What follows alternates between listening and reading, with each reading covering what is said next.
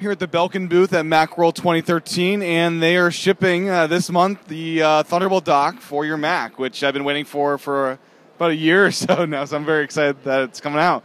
Um, can you kind of go over what the final product's going to be? Yes, it's a Thunderbolt Express dock. So what we have here is a Thunderbolt with a Express dock with two dis, uh, Thunderbolt ports. That way you can daisy chain out to the next device.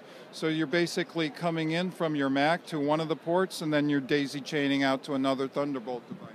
So potentially you could have like five for a bunch of these docks and just have a bunch of ports out of it, you know. Or how many can you daisy chain through this? You can daisy chain up to six Thunderbolt devices. It also gives you um, Ethernet gigabit connectivity, FireWire 800, three USB 3.0 ports, audio in and out. Does require power. That way you can spin up drives that don't have power adapters. Um, this is uh, available at the end of this month, and the price is 299. Okay. And you need power for everything, even though if you're using mobile hard drives, uh, whatever the case, you do need the power with it. Yes. So the power for the dock only. Gotcha. And then, um, as far as other docks, do you foresee smaller versions that's coming out, or is this going to be your mainstay for a while now? Uh, technology at Belkin will always be improved. Um, do I anticipate uh, additional changes to this? Uh, it's really not going to be decided by me, but uh, um, technology changes. I really couldn't say what, what the next round is, but I anticipate this, since it's a brand new uh, um, communication, uh, that it'll probably be around for a while, and uh, it might be expanded or changed in the future, but it's going to be here for a while. That's stain, uh, aluminum, just like Apple's laptops and things like that. Same brushed aluminum look. Has this nice look in the front.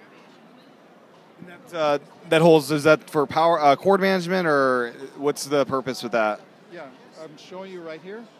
So what we've done is we've taken this power port, Thunderbolt port, routed underneath to the back. So then what I've done is I'm going from this Thunderbolt on our dock to a Thunderbolt display, and then finally to a Thunderbolt uh, drive. Okay.